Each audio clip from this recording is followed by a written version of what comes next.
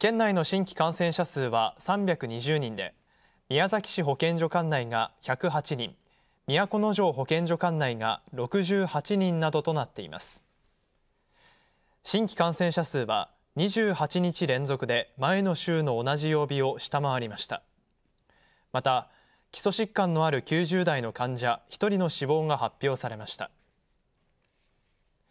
昨日の時点で県内のコロナ病床に入院している患者は79人。